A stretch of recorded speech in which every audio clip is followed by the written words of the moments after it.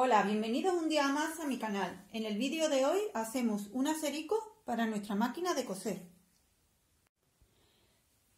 Las medidas que necesitamos son el ancho de la máquina más 4 centímetros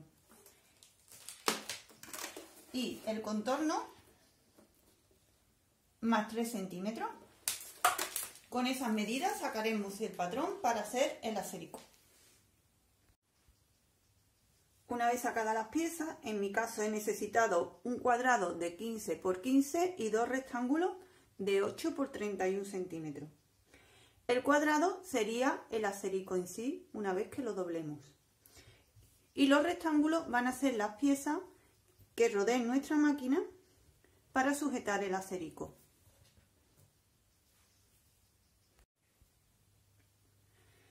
De los dos rectángulos de tela tenemos que sacar dos tiras de 2 centímetros de ancho, que estén dobladas a la mitad. Para que resulte más fácil doblarla y, coser la máquina, pues pasaríamos la plancha. En uno de los extremos doblamos un centímetro.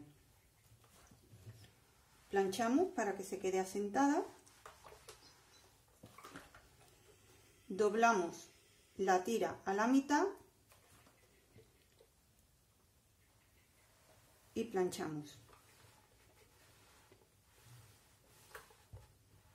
Una vez que se ha quedado bien marcado, abrimos la tira y volvemos a doblar por la mitad de uno de los extremos hacia el centro, pasando de nuevo la plancha. De esta manera nos resulta más cómodo a la hora de pasarlo a máquina, como os digo. Doblamos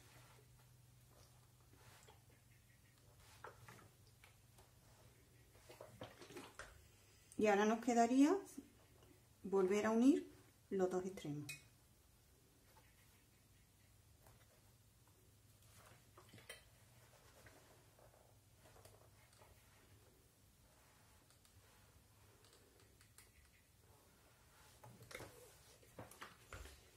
Y ya lo tenemos listo para pasar un pespunte a máquina por esta parte de aquí. Ya cosidas las tiras,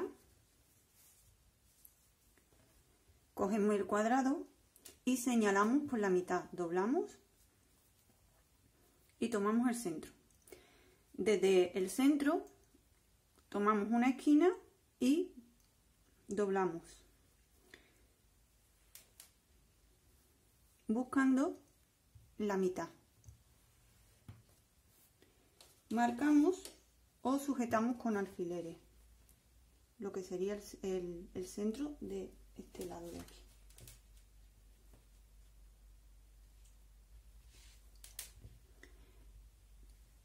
Y en estas señales que acabamos de sacar, pues las tiras las ponemos centrándolas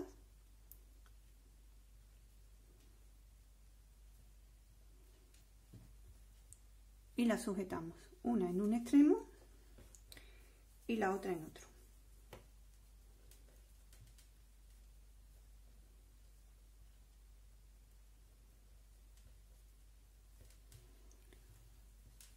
Y de esta forma pasaríamos una costura para dejarla sujeta tanto en este lado como en este.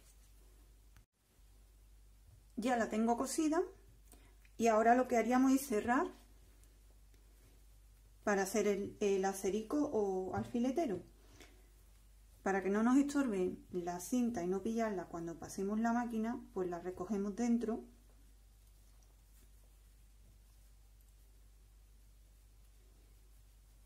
y doblamos. Sujetamos los extremos con unos alfileres por donde vamos a pasar el pespunte de la máquina.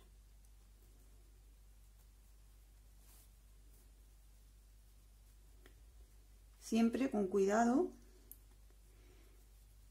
de dejar la cinta dentro y no la pasemos con la máquina cuando cosamos. Coseríamos los extremos y esta parte de aquí solamente un trozo aquí y un trozo aquí. Y este de aquí lo dejaríamos abierto para poder darle la vuelta. Paso a máquina y os lo enseño.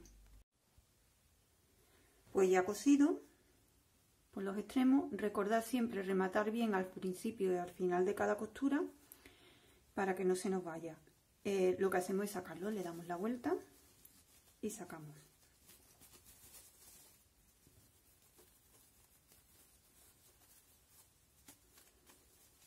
podemos ayudarnos con una tijera o un bolígrafo o algo para sacar bien las esquinas con cuidado de que lo que utilicemos pues no, no nos raje la tela. Y cuando lo tengamos todo sacado, lo vamos a rellenar con guata o con miraguano.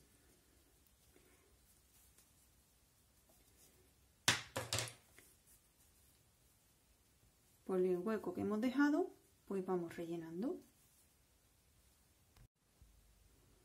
Ya tengo aquí preparado el relleno y lo voy a ir abriendo. Y lo vamos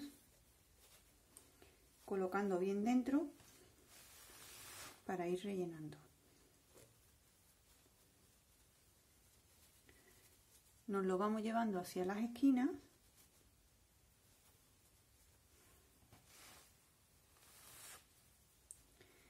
hasta que tengamos el grosor que queramos. La verdad es que mientras más grueso esté mejor porque pincharían mejor los alfileres y no se saldrían por debajo. ¿Veis?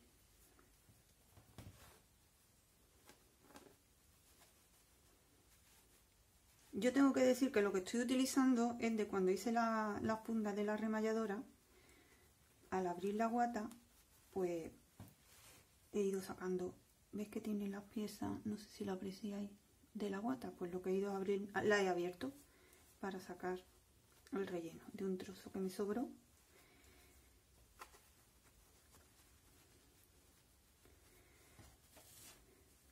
Así que esto lo voy a rellenar así.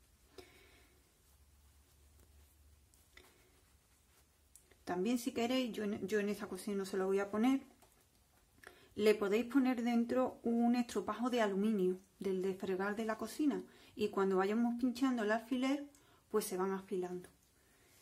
Es un truco muy bueno pero la verdad es que yo no en, esta ocasión pues no no se lo quiero poner porque al ir en la máquina pues no sé qué resultado me dará.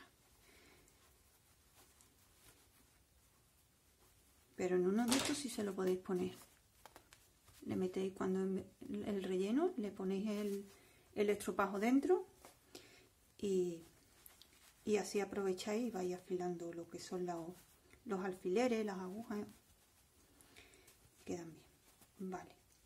¿Veis? Bueno, yo voy a seguir rellenando y ahora os lo enseño. Pues ya lo tengo relleno.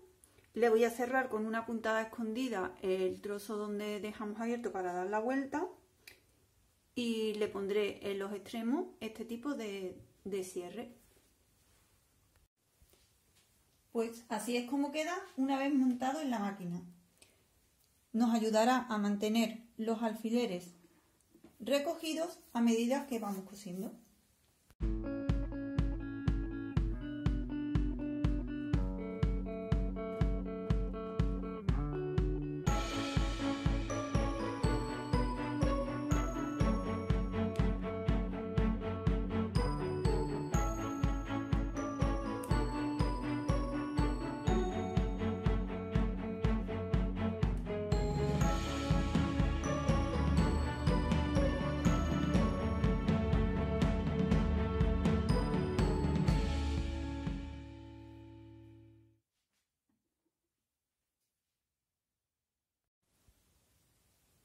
Si te ha gustado, dale a like y suscríbete a mi canal para no perderte los próximos vídeos. Y como siempre, muchas gracias por estar ahí.